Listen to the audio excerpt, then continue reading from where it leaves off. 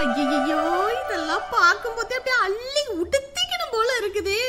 எப்படியாவது சிவப்புல ஒண்ணு மஞ்சையில ஒண்ணு பச்சையில ஒண்ணு ப்ளூல ஒண்ணுன்னு சொல்லிட்டு எல்லாத்துலயும் ஒண்ணு ஒண்ணா எடுத்துடணும். என்னங்க? என்ன?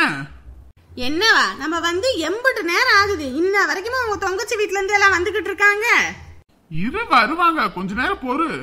ஆமா பொறு பொறு பொறுன்ட்டு எம்புட்டு நேரம். மாப்பிள்ளை வீட்டுக்காரன் நம்ம தான் வந்து இவங்களுக்கு வழியக்க வந்து எல்லாம் பண்ற மாதிரி இருக்கு. பொண்ணு வீட்டுக்காரங்க தான் ரொம்ப கெராக்கி பண்ணிக்கிட்டு இருக்காங்க. ஏய் பையன் இருக்கான் வாய் மூடிட்டு கம்முனு இருன்னு சொன்னேன். ஆமா என் வாயவே அடக்குங்க. இரு வருவாங்க. இந்த மாமா எல்லாம் வந்துட்டாங்க. இந்தா வந்துட்டாங்களே. என்ன உங்க தொங்கச்சிய காணோம்? என்ன மச்சான் ரொம்ப நேரம் காத்துட்டு இருந்தீங்களோ இல்ல மச்சான் இப்பதான் வந்தோம்.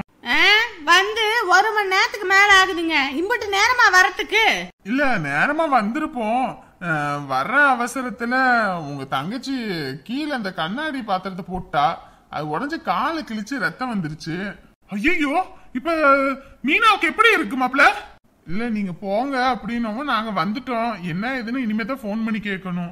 ஏன் மாப்ள அப்படின்னு சொல்லியிருந்தீங்கன்னா இன்னைக்கு துணி எடுக்கிறத விட்டுவிட்டு ஆஸ்பத்திரி கூட்டிட்டு போய் வச்சு பார்த்துட்டு நாளைக்கு கூட துணி எடுத்திருக்கலாமே. என்ன அவசரம்?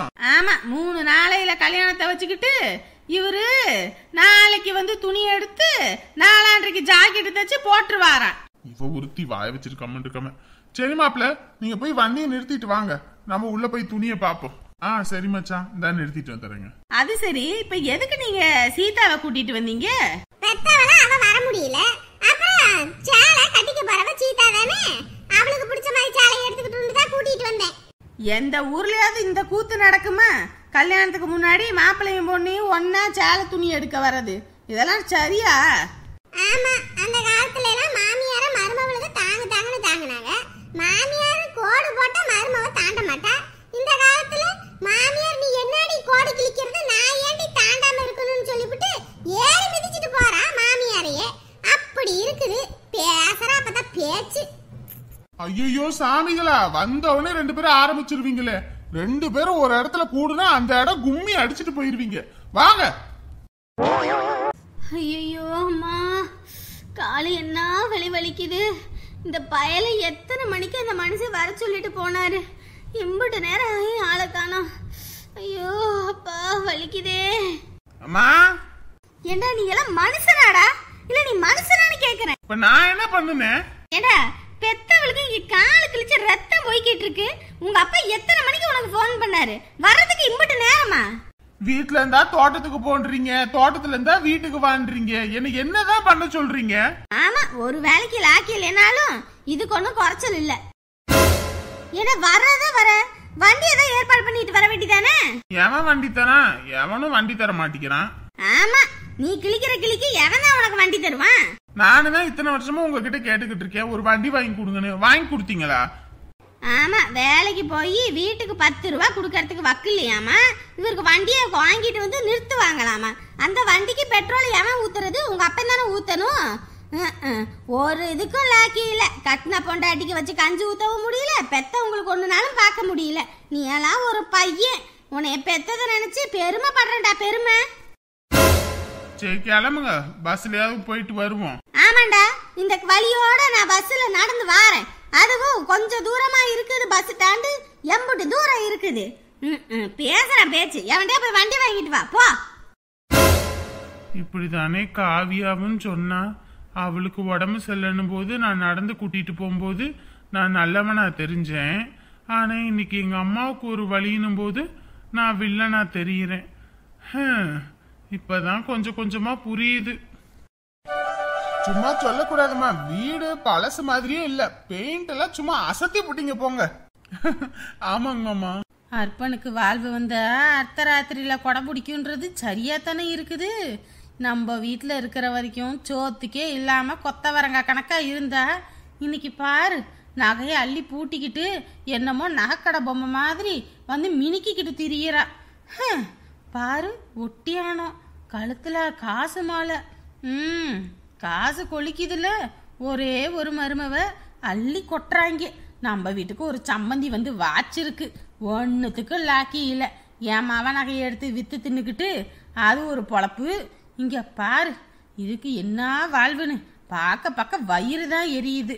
என் பிள்ளைக்கு அமைய வேண்டிய வாழ்க்கையை இவ தட்டி பறிச்சுக்கிட்டு எம்புட்டு கொண்டாட்டம் பண்ணுறான்னு பால் காய்ச்சியாச்சா? அத்தை இப்பதான் பால் காய்ச்சிட்டு இருக்காங்க எங்க? என் பேராண்டி? இங்க ஓமகுண்டம் வளர்க்கவும் புகை அதிகமா வந்துருச்சு. பையனுக்கு மூச்சு விட ரொம்ப சிரமமா போயிருச்சு. அதனால அத்தை தூக்கிட்டு போய் வெளியே வச்சிருக்காங்க. ஏன் பெரியம்மா அங்கேயே நின்னுட்டு இருக்கீங்க வாங்க. ஆ, இங்கேயே நிக்கிறேன்.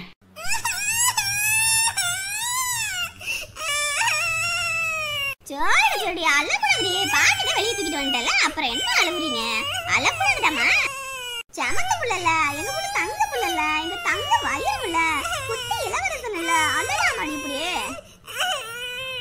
உபமாக்கா என் பேர் அழுகுறான் அது ஒண்ணும் இல்ல அமுதா உன் ஐயரு ஓம ஒண்ணு வளர்த்தார்ல அந்த புகை கண்ணு எரியும் போல இருக்கு. அதான் பையன் அழுகுறான் அப்படியாக்கா சரிக்கா சரிக்கா. பூஜை எல்லாம் முடிஞ்சிருச்சுங்களா? ஆ பூஜை எல்லாம் முடிஞ்சு ஐயரெல்லாம் கிளம்பிட்டாங்க. சமதியமா உள்ள பால் காய்ச்சிட்டு இருக்காங்க. எல்லாம் கரெக்டான நேரத்துக்கு தான் வந்திருக்கீங்க. முன்னாடியே வந்திருக்கலாம்ல? எங்கக்கா நம்ம வீட்ல உள்ளது அடிச்சு துவைச்சு கூட்டிட்டு வரதுக்குள்ள போதும் போதும் ஆயிடுச்சுன்னா பாத்துக்கோங்களேன் தான் அந்த என் பையனா பாத்துக்கோங்க எந்திரிக்கவே மாட்டேன்ட்டான் இந்த புகை பட்டா கூட நமக்கு நல்லதுல அதனால தான் இழுத்து புடிச்சு கூட்டிட்டு வந்திருக்கேன் சரி சரி சரிக்கா நான் வீட்டுக்குள்ள போறேன் இப்போ எப்பக்கா சாப்பாடு போடுவீங்க? அவ்வளவுதான்ப்பா. இந்த பால் காய்ச்ச உடனே சாப்பாடு தான் சிக்கன் பிரியாணி மட்டன் பிரியாணி குசுக்காலாம் போடுவீங்களா?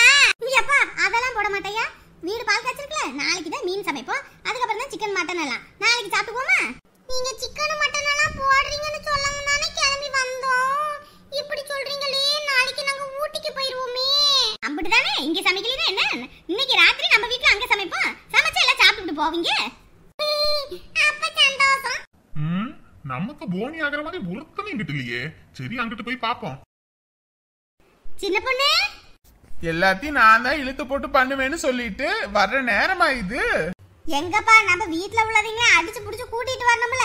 அதான் அப்படி ஆயி போச்சு சரிக்கா. பரவாயில்ல சின்ன பொண்ணு. உங்க அம்மா கஷ்டப்பட்டதுக்கு உங்க அம்மா நல்ல மனசுக்கு பாரு.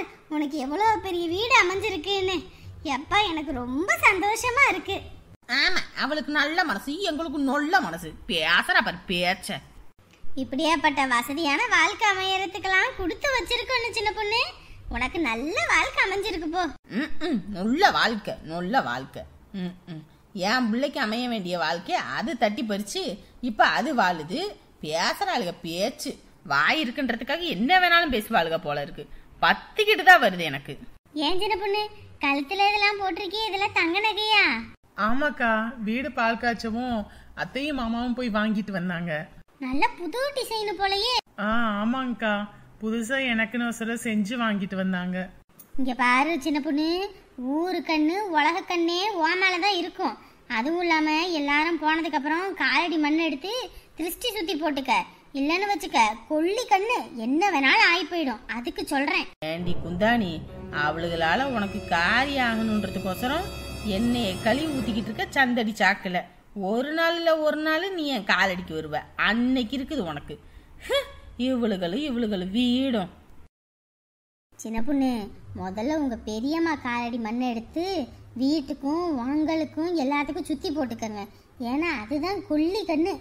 உன்னையவே குறு குறு குருன்னு பார்த்துக்கிட்டு இருந்துச்சு. அதுக்கு தான் நான் அப்படி ஜாடையா சொன்னேன். எதுவும் தப்பா நினைச்சுக்காதீங்க. இல்லக்கா அவங்கள பத்தி தான் என்னைக்கும் தெரியும்ல. விடுங்க. இங்க பாரு சின்ன பொண்ணு கல்லடி பட்டாலும் கண்ணடி படக்கூடாது. அதுவும் உங்க பெரியம்மா கண்ணெல்லாம் கொல்லி கண்ணு. அதுக்காக சொன்னேன். ம் சரிக்கா. சரி அம்மாலாம் பால் காய்க்கிறாங்களே நான் அங்க போய் பாக்குறேன். ம் போங்கக்கா. அம்மா கல்யாண பட்டெல்லாம் இந்த செக்ஷன் இங்க வாங்க. அச்சோ அழகா இருக்குதே. ஏமா கல்யாண சேலையெல்லாம் எடுத்து போடுமா? கூரை புடவை மாதிரி கேக்குறீங்களா இல்ல பட்டு சேலையில பாக்குறீங்களா? பட்டு சேலையில தான் காட்டுங்க. மா ஆயிரம் ரூபாயில இருந்து ரெண்டு லட்சம் ரூபாய் வரைக்கும் நம்ம கிட்ட சேலை இருக்கு. நீங்க எந்த ரேட்ல பாக்குறீங்கன்னு சொல்லுங்க அதுக்கேத்த மாதிரி எடுத்து போடுறேன். கல்யாண சேலையெல்லாம் நான் அடிக்கடியா கட்டிக்கிட்டு இருக்க போறோம். ஒரு ரெண்டாயிரம் ரூபாய்க்கு எடுத்து போடுமா? ஏண்டி இந்த காலத்துல எல்லாம் கல்யாண புடவை பத்தாயிரம் இருபதாயிரம் முப்பதாயிரம் எடுக்கிறாங்க. இன்னமும் அந்த காலத்துல ரெண்டாயிரம் மூணாயிரம்னு. ஏமா நல்ல விலையை எடுத்து போடுமா? ஆமா காசு இவங்க குடுக்குறாங்க இவங்க பேசுறாங்க. மா எவ்வளவு ரேட்ல வேணாலும் எடுங்கம்மா நான் பாத்துக்கிறேன். என்ன கல்யாணம் துணிமணி செலவு மட்டும்தானா? தாலி எடுக்கணும் அதுக்கப்புறம் கொடி எடுக்கணும் ஊருப்பட்ட செலவு கிடக்குடா சாப்பாடு செலவு எல்லாம் பார்க்கணும். அக்கா நீங்க எடுங்கக்கா நான் காசு தரேங்க ஐயோ அதெல்லாம் ஒன்றும் வேணாம். நாங்க இருக்கிற ரேட்லயே எடுத்துக்கிறோங்க. ஐயோ நீங்க எடுங்க நான் காசு கொடுத்துக்கிறேன். ஆ அதெல்லாம் ஒண்ணு வேணாம் அதெல்லாம் ஒண்ணு வேணாம். ஏமா பத்தாயிரம் ரூபாய் ரேட்ல எடுத்து போடுமா? அக்கா அப்படியே ஆஃப் சாரியே எடுத்து போடுங்க அக்கா எந்த ரேட்லம்மா ஏக்கா ஒரு ஐயாயிரம் ரூபாயில எடுத்து போடுங்க. ஐயாயிரம் ரூபாயா? எட்டுக்கிட்டு மிதிச்சேன்னு வையி. வாய் முடி நில்லு. ஐநூறு ரூபாய்க்கு ஒரு தாவணியை வாங்கி மாட்டுவாளா ஐயாயிரம் ரூபாவா கேக்குது இவளுக்கு. நமக்கு யாரும் எதுவும் எடுத்து கொடுக்க மாட்டாங்க. மா இதெல்லாம் நீங்க கேட்ட பத்தாயிரம் ரூபாய் ரேட்லமா பாருங்கம்மா இது பிடிச்சிருக்கான்னு சொல்லுங்க. இல்ல இதை விட அதிகமா ரேட்ல கூட எடுத்து போடுறோம். சரிம்மா. அந்த கத்திரிப்பூ கலரை பிரிச்சு காட்டு. இது காஞ்சி பட்டுமா இது நல்லா இருக்குதானே? செவத்த கலருக்கு நல்லா இருக்கும். இதை எடுத்துக்குவோமா? ஆமா இவளுக்கு இந்த பஞ்சு மிட்டாய் கலரு இந்த அடிக்கிற பச்சை கலரு இந்த கலர் தான் தெரியும். வேற எந்த கலரும் தெரியாது. உங்களுக்கு எல்லாம் தெரியும்ல? நீங்க வந்து எடுத்து பாருங்களே. ஏமா மாங்காய் பிஞ்சு கலர் எடுத்து போடுமா? அப்படி அந்த சாத்துக்குடி கலரு பலாப்பழ கலர்ல எடுத்து போடுமா? ஐயா ரெண்டு பேரும் எடுக்கிறதுக்குள்ள போதும் போது நான் ஆயிரும் போல இருக்கு. ரெண்டு பேரும் முதல்ல நவருங்க. சீதா நீ போய் எடு சீதா. உனக்கு பிடிச்ச மாதிரி. என்னமோ பண்ணுங்கப்பா. நான் போய் அந்த பிள்ளைக்காவது ஆஃப் சாரி எடுத்து கொடுப்பேன். அக்கா கொஞ்சம் கிராண்டா நல்ல இதை எடுத்து போடுங்கக்கா.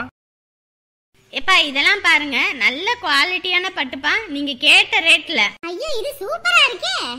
சீதா இதுல உனக்கு பிடிச்ச சேலையை எடுத்துக்கோ. பரவாயில்ல மாப்பிள்ள நம்ம புள்ளைய நல்லா பாத்துப்பாரு சீதா எடுத்து வச்சு கூட பாரு சீதா. அத்தை அவங்க ரெண்டு பேரும் எடுக்கட்டும். வாங்கத்த நம்ம அங்க போவோம். ஆ சரி மாப்பிள இதுல எது நல்லா இருக்கு? உன் அழகுக்கு இது எல்லாமே நல்லா தான் இருக்கு. உனக்கு எது பிடிச்சிருக்கோ எடுத்துக்கோ. இந்த கோல்டன் கலர் எடுத்துக்கவா? சரி அதை எடுத்துக்கோ. அப்புறம் உனக்கு சுடிதார் எதுவும் வேணும்னா கூட எடுத்துக்கோ. அன்னைக்கு மட்டும் பார்த்து பார்த்து எடுத்து கொடுப்பேன். உன் தங்கச்சிக்கு எடுத்து கொடுக்க மாட்டேன். அப்படிதானே ஏ முட்டை போண்டா. உனக்கு இல்லாமையா? உனக்கும் பிடிச்சதை எடுத்துக்கோ.